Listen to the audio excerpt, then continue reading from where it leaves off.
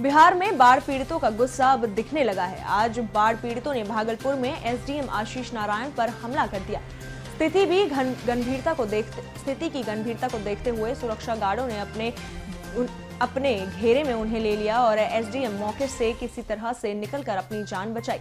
घटना नाथनगर के नकटोलिया नवटोलिया के निकट की है और इस हमले में एसडीएम की गाड़ी क्षतिग्रस्त हो गई।